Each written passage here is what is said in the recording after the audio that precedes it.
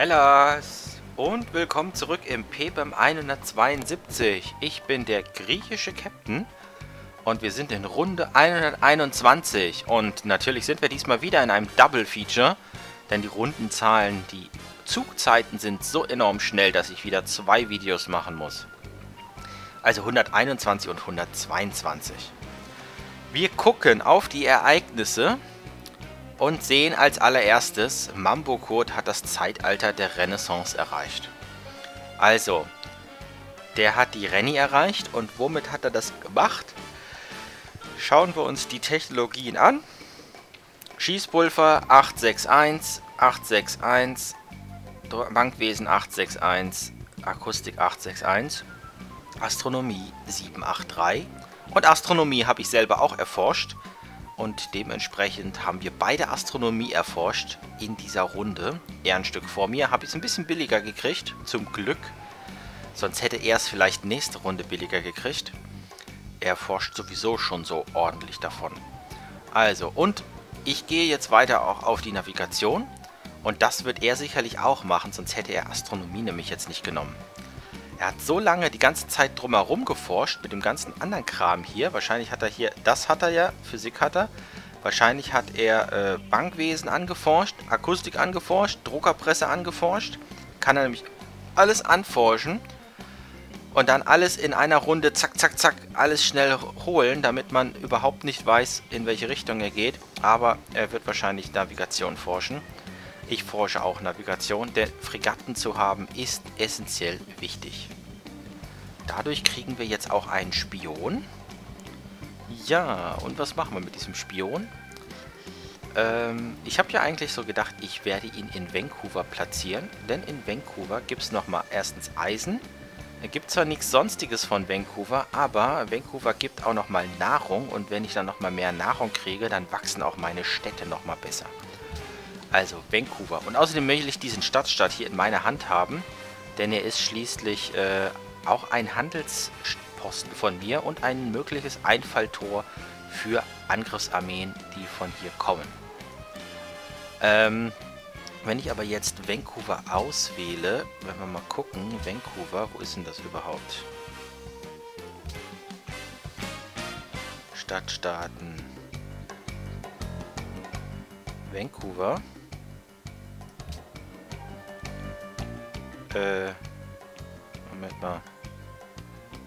Genau, hier drüber fahren, da kann man das sehen. Äh, alle Stadtstaaten der Welt haben alle 10 Runden gleichzeitig Wahl, halten alle gleichzeitig Wahlen ab. Die nächste Wahl findet in 9 Runden. Der braucht aber so ungefähr so 3 Runden, bis er ankommt oder 4.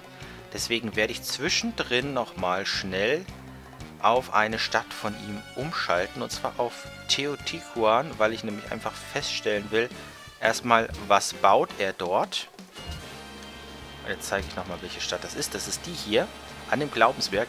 Was baut er dort? Was ist hier, was lauert hier an Armee? Damit ich das sehen kann, mal kurz. Ähm, ob da irgendwie großartig was lauert, was mir hier bei Laser noch gefährlich werden könnte. Nicht, dass ich Laser noch verliere. Gut, dann, in unserem Gebiet wurde ein Gegner gesichtet. Wir gucken mal kurz und analysieren schnell die Situation rund um London. Ach, von seinem Triumph quasi, dass ich mich zurückziehen musste, ähm, hat er sich offensichtlich, hat das offensichtlich gewagt, nach vorne zu preschen und hat mit 1, 2 Einheiten London beschossen und mit 1, 2 Einheiten meine, äh, ja, meine Galeasse beschossen. Galeasse steht quasi jetzt kurz vor Reichweitenbeschuss. Sehr schön. Was haben wir sonst noch hier? Achso, Naturwunder für Samarkand. Okay, ich weiß nicht, wo das andere Wunder ist. Ist das hier irgendwo mitten auf dem Kontinent wahrscheinlich? Ohne, dass ich es weiß. Ähm, Delphi möchte Seide haben. Wo kriege ich denn Seide jetzt plötzlich her? Na toll, hier oben. Hm. Warum musste der die Seide früher eingemeinden? Also ehrlich, warum konnte er sie nicht mit der Küstenstadt eingemeinden? Die Stadt hier hat überhaupt keine... Drei... Vielleicht noch Krabben, wenn Krabben irgendwann mal... Ah ja, 1, 2, 3, da hat er Fische. Vielleicht werden die Krabben irgendwann noch mal was. Vielleicht kommen die nochmal rein, langfristig. Aber ansonsten Krabben habe ich ja bisher. Weil ich sie tausche. Na gut, vielleicht werden Krabben, ja kommen Krabben hier nochmal rein. Irgendwann wird es bestimmt passieren. Mhm. Okay, also hier gibt es noch was zu tun. Klären wir gleich. Und äh, Wachstum, Wachstum, Wachstum, das ist gut. Knossos gibt Wachstum. Mehr Produktion, Leuchtturm in, Runde, in sieben Runden. Nächstes Wachstum in vier Runden. Sehr schön. Achso, Guangzhou hat auch Wachstum. Und äh, was mich freut hier ist, Guangzhou stellt den Hafen ein. Obwohl er ganz genau weiß, ich habe noch keinerlei Möglichkeiten, den Hafen irgendwo zu nutzen, aber es eröffnet mir Möglichkeiten, darüber nachzudenken, meine Küstenstädte jetzt bald alle mal mit Häfen anzubinden, indem ich hier in London zum Beispiel auch einen Hafen baue, irgendwann auch mal in Knossos und vor allen Dingen auch in der Hauptstadt einen Hafen baue. In der Hauptstadt ist nach der Galeasse noch nichts geplant. Nehmen wir hier also einen Hafen der dann nach der Galeasse kommt. Erstmal wichtig, dass das jetzt so ist. Gut, ähm, ja, Bautruppmanagement, zack, damit der da oben das macht.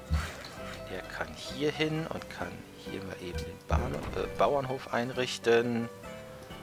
Ähm, der geht einen weiter nach Süden, wird hier wieder die Straße eine Runde anbauen. Der geht einen nach da, wird diese Straße hier auch anbauen.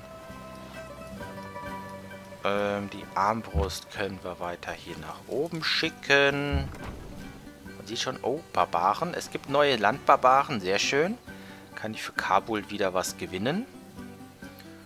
Und, ähm, der kann hier das Lager fertigstellen. Aber allesamt läuft das alles. Die Städte wachsen. Ja, ah, Delhi, genau. Delhi. Nee, nicht Delhi. Delphi. Delphi, nicht Delhi. So. Bitte nächste Runde wachsen. Kostet mich zwar Geld, aber erst nächste, bitte nächste Runde trotzdem wachsen. So, habe ich noch irgendwas vergessen? Ich würde mal sagen, damit sind wir bei der Bearbeitung hier. Achso, hier. Da. Und 1, 2, den ziehen wir auch weiter.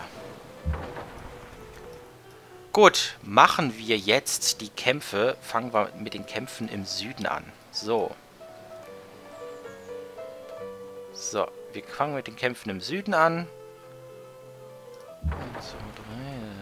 Hm.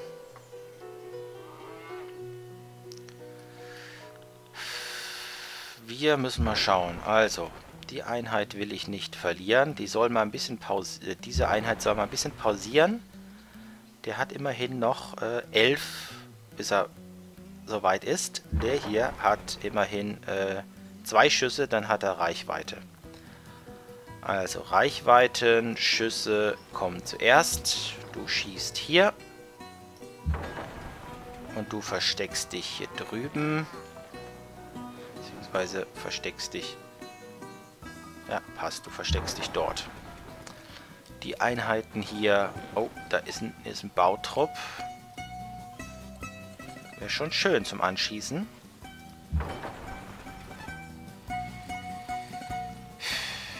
Ich weiß gar nicht mehr. Warum habe ich den nicht angeschossen? Ich hätte den so schön anschießen können und zweimal lernen können. Ich weiß nicht, warum ich nicht angeschossen habe. Ich wollte die Einheit, glaube ich, einfach nur... Ich habe sie... Ach, ich habe sie... Habe den gar nicht wahrgenommen, weil ich ihn einfach in einem Zug hier hochgezogen habe und dann nicht gesehen habe. Ja, das passiert, wenn man blind zieht. Man sollte Feld für Feld bei den Schiffen ziehen, damit man immer sieht, was da auf den angrenzenden Feldern ist. Hier ein Bautrupp zum Beispiel der wäre ideal gewesen zum Angreifen und zum Trainieren von dieser Einheit, damit sie auf drei Felder gehen kann. Jetzt ist die Chance vertan. Naja, mal gucken, was in der nächsten Runde ist. Vielleicht ist er ja noch da, dann kann ich doch nochmal drauf schießen. Gut, äh, bei London. Ähm, wir werden erstmal hier das 1, 2, 3, 4, dieses Schiff da reinsetzen damit es nach nämlich ein bisschen regenerieren kann, den Admiral auch reinsetzen. Und äh, jetzt wird ein bisschen was weggehauen. Und zwar hauen wir weg mit dem Schiff, hauen wir mal hier drauf. Jawohl, 19 nur noch. Ich glaube, die Armbrust ist sogar schwächer als die Stadt, 38. Und die Stadt bringt 44, jawohl. Also, dann jetzt diese Armbrust. Auf den, damit haben wir schon mal einen weggeholzt. Ähm, und wenn ich mich richtig erinnere, war das sogar derjenige, der sich im unwegsamen Gelände, also der Spe Speer, der sich im unwegsamen Gelände bewegen konnte. Super, eine Einheit weniger, die mehr nervig ist. Jetzt als nächstes, ähm, ja, dann noch das, das, das. Dann noch die Pferde. 1, 2, 3, 4. Da könnte er hinkommen. Ziehen wir den jetzt mal vor. Und feuern hier drauf. 67, schöner Treffer. Dann steht jetzt durch eine Vernichtung durch die Stadt nichts mehr im Wege. Zack. Ups. Und schon hat man 405 Gold. Und damit ist der jetzt auch sicher. Hier noch einmal verschanzen, nochmal heilen. Und der zieht auf diesen Hügel, um hier abzusichern. Gegen dieses Pferdchen zum Beispiel. Ich habe geguckt, es sollte machbar sein, dass hier der nicht, nicht äh, kaputt geht.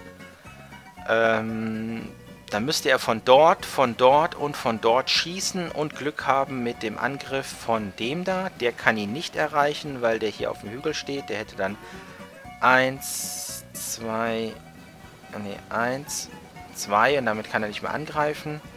Das Pferdchen kann auch nicht angreifen, das kann sich nur in Bedrängnis bringen. Also schöne Abwehrsituation bei London. Mit ein paar Einheiten, ein paar Schiffen kann man hier wunderbar abwehren. Gut, unser Missionar, unser Händler, ein bisschen von der Küste wegziehen dass die auch möglichst zügig nach Kahoika kommen. Gut, aber was machen wir jetzt noch hier oben? Gangsu, der wird hier, äh, ja, diese, der Reichweit, die Reichweitenfregatte wird hochgeheilt. In zwei Runden ist sie voll. Offensichtlich hat unser, äh, unser Joker gelernt, dass er hier meine Einheit nicht beschießen soll, weil er sie eh nicht klein kriegt. Denn er wird, er, denn er lernt, äh, denn er, er beschießt sie nicht und ich lerne dadurch jetzt nichts mehr. Das ist natürlich schade. Hier sind auch sonst keine Einheiten, die irgendwie gefährlich werden könnten. Ah ja, wir lassen es noch einmal da. Mal schauen, ob wir ihn ein bisschen provozieren können. Gut. Ansonsten ziehen wir mal unsere Trieren zurück upgraden die Trieren gleich. Kostet immerhin 140 für zwei Trieren in, äh, in, äh, ja, in Karavellen abzugraden. Aber das lohnt sich, denn diese Karavellen sind deutlich schneller nochmal. Und jetzt kann ich auch noch weiter gucken. Jetzt kann ich Peking aufdecken. Ja, und ja, sehen jetzt halt, Peking ist Stadtgröße 11. Nicht besonders groß und ziemlich viele Farmen. Er hat, äh, er hat die äh, Stelle gebaut, man sieht's. Und warum er hier, hier, hier noch keine Straßenverbindung gebaut hat, ist ein Rätsel. 1, 2, 3 Gold, die kriegt er doch locker bei der Zweitstadt schnell wieder rein. Die anderen Einheiten werden wir hier ein bisschen in Richtung Mogadischu wieder bewegen.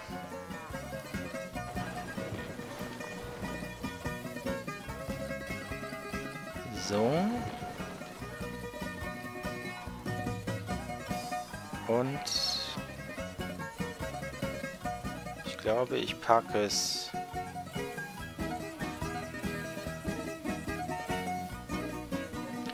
es so hin, genau.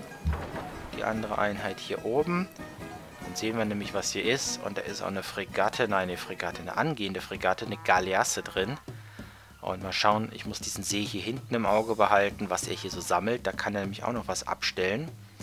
Bei Texcoco muss alles rauskommen. Deswegen habe ich Or äh, Orchrist, Q-Aladin gesagt, er möge mit seinen Galeassen hier hinkommen, damit er hier Texcoco bewacht.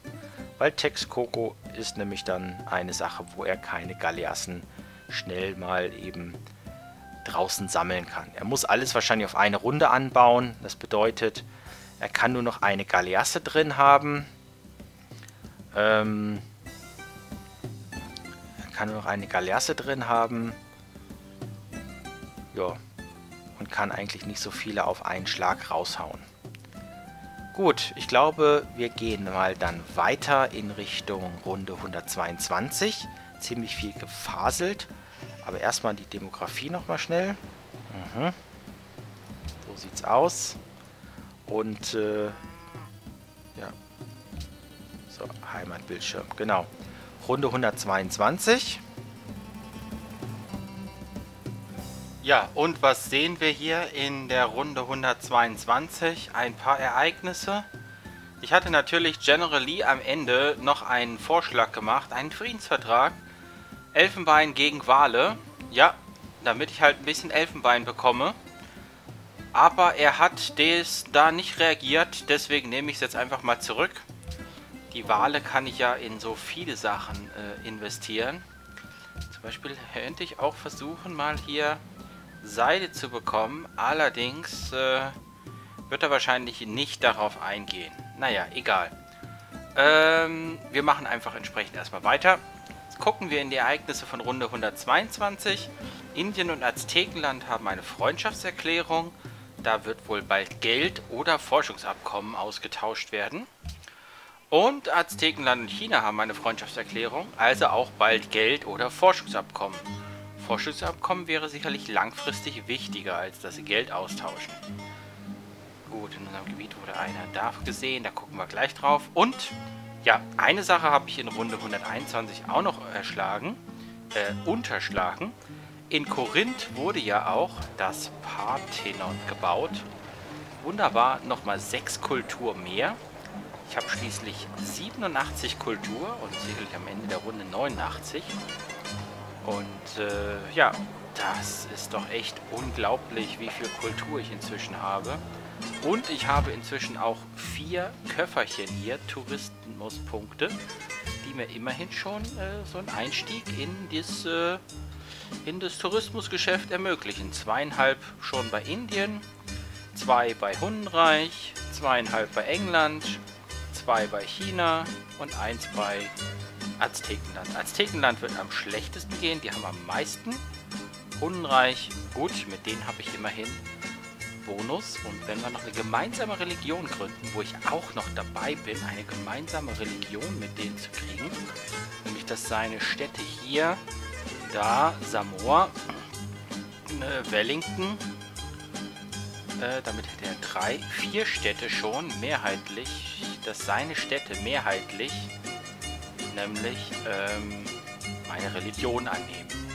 Dann hätte ich nämlich noch einen weiteren Bonus. Und dann hätten wir sogar eine Möglichkeit, im, im großen äh, Kongress quasi abzustimmen, dass unsere Religionen quasi genutzt werden müssen als Weltreligion. Okay, so, das brachte halt nochmal 40 Punkte bei Kabul.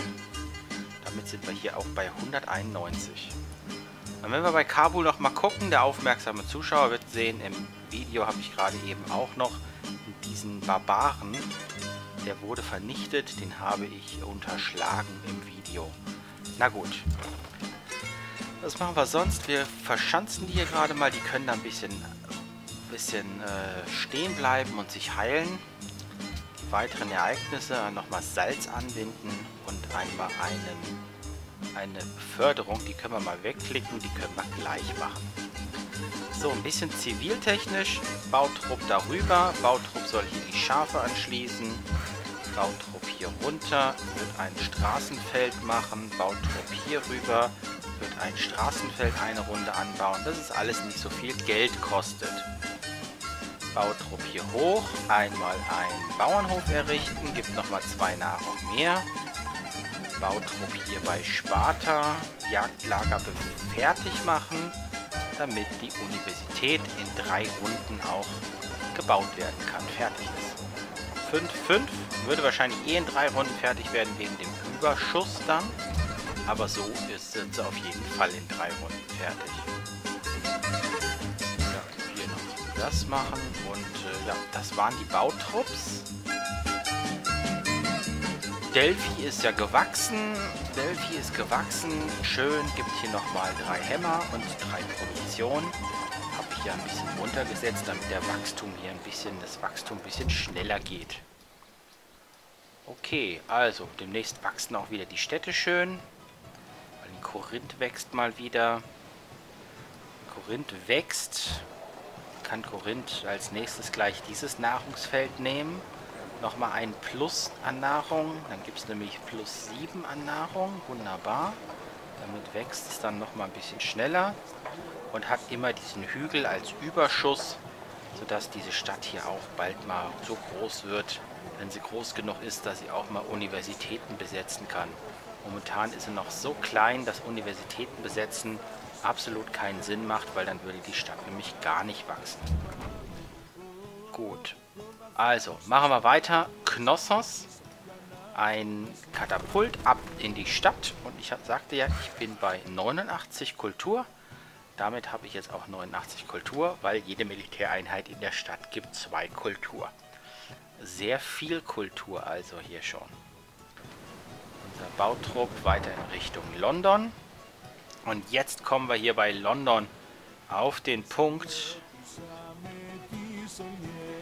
Ja, und da... Hahaha, super. Hätte ich es mal gemacht. Ich hätte das Pferd vernichten können. Nein. 1, 2, 3, 4. Ich hätte von hier aufs Pferd schießen können. Ach nee. Ich habe, jetzt fällt es mir ein und als ich die Runde gezogen habe, fiel mir das nicht ein. Da fiel mir nur ein, ich sollte doch hier das, die Galeasse äh, ich sollte doch die Galeasse bitte äh, heilen lassen. Na gut, hätte ich hier rumgezogen, hätte ich das Pferd vernichten können. Ähm, jetzt machen wir aber trotzdem hier, dass ich mit der Einheit das Pferd anschieße. So. Dann wird das sicherlich verstecken wieder. Und, äh, naja, wird das verstecken. So, die anderen Einheiten werden hier verschanzt. Und unser Händler kann hier oben rum und unser Missionar kann hier entlang und Kahoika angreifen. Äh, nicht angreifen, Kahoika bekehren, nicht angreifen, bekehren ist das Stichwort, bekehren. Gut, was haben wir sonst noch hier? Genau, in Süden Lhasa unser äh, eine Gasse braucht nur noch einen Erfahrungspunkt, dann ist er bei 60, kriegt dann auch Reichweitenbeförderung. Ziehen wir ein Feld nach Norden, schießen wir auf Lhasa drauf. Super, und den anderen lassen wir dann noch weg, denn ich will, dass der hier äh, ein bisschen höher ist in der Moral wie der, weil dann kann der nämlich hier hingehen, schießen und äh, ohne dass er behelligt wird. Ja, was machen wir hier?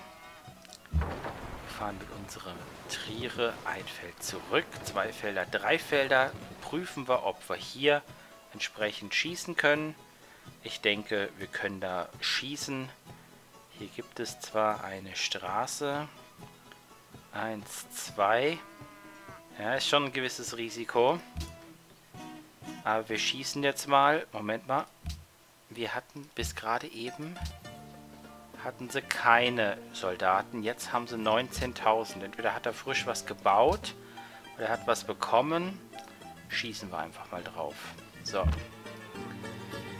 Natürlich ein Risiko hier. Wenn er damit irgendwas, irgendwas äh, was äh, fernkampfmäßig unterwegs ist, ankommt, dann äh, muss ich mit der Einheit weg.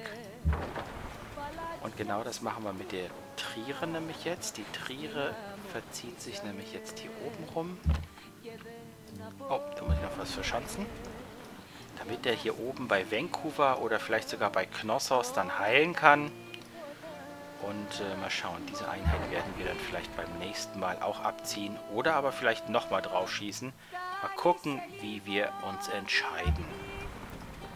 Okay, Last but not least bei Guangzhou unsere allerersten Karavellen. Letzte Runde haben wir sie so wunderbar abgegradet und deswegen kommen die jetzt auch gleich, kommen auch gleich mal in Genuss hier der Spähaktion. So, da sieht man, da hinten ist ein Bautrupp. Drei Runden bis zur Fertigstellung von Bauernhof. Hier hinten ist ein Hügel. Wie weit die reingucken kann. Zwei Felder normal, drei Felder wegen Karavelle vier Felder wegen Sozialpolitik, fünf Felder wegen äh, Leuchtturm und dieses Feld da hinten, weil es ein Hügel ist. Oder? Eine zusätzliche Sicht, Leuchtturmsicht, Dreifelder-Sicht. Ja, Dreifelder-Sicht. Eins, zwei, drei. Und da hinten ist halt ein Hügel. Sonst würde ich hier wesentlich mehr sehen und alles andere sehen wir jetzt hier nicht so leicht. Und so, so. Und da hinten sehen wir noch einen großen Hügel. Und so kommen wir dahin. Was machen wir mit den Einheiten hier? Da er hier nicht mehr drauf schießt, kann ich sie wahrscheinlich auch wegziehen. Dann ziehen wir mal diese Einheiten so. So, stellen wir ihm eine kleine Falle. Mal gucken, ob er drauf eingeht. Wir stellen die Triere, ne, die, äh, die Galeassi hier hin. Er hat ja hier, äh, er kann hier ja mit einer Armbrust und mit seiner Galeasse drauf feuern. Bin ja mal gespannt, ob er das macht. Weil dann könnte ich nämlich hier zurückfeuern. Die stellen wir mal dorthin. Und den stellen wir hier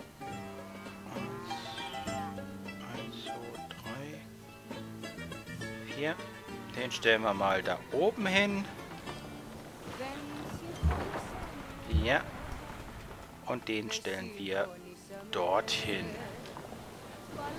So. Und dann kann er mal sehen, ob er angreifen will mit seinen Einheiten.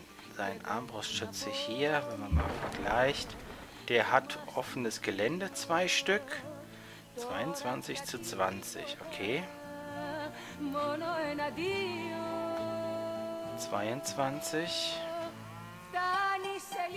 23 Schaden. Was ist mit den Einheiten? Der macht sogar 47 Schaden dort. 47. 28, gut. Also, sollte ich die auf äh, Fregatten umstellen können, haben, können mir wahrscheinlich die ganzen Armbrustschützen nichts mehr großartig anhaben. Dann äh, geht es darum, die Flotte zu vernichten und die Armbrustschützen sollten innerhalb von kürzester Zeit auch dran glauben können. Mit der Reichweite dann sowieso. Äh, die Reichweite, die züchten wir hier gerade. Okay, gut. Ja, ich denke, damit sind wir auch schon gut vorangeschritten. Jetzt bei den Double Feature 121, 122. Ähm, achso, ja, hatten wir hier noch was gesehen? Ja, das mit dem Hafen hatte ich ja schon gerade gesagt, genau. Und äh, hier wächst es einigermaßen und äh, dann gebe ich jetzt ab.